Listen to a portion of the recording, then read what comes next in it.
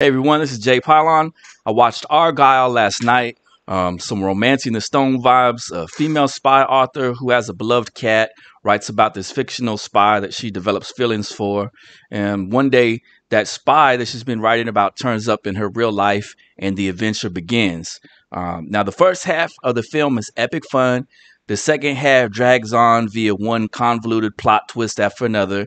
It seems like there was at least five plot twists. So uh, towards the end, the action scenes also tend to become less over the top and more fantasy absurd.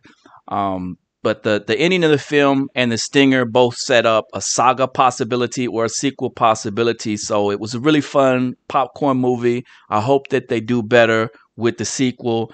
And I would say it's worth at least checking out to see if you like it or not. This movie's called Argylle. Dallas Bryce Howard um, probably should have directed the second half. It might have turned out a little bit, uh, a little bit more epic, but a good film overall.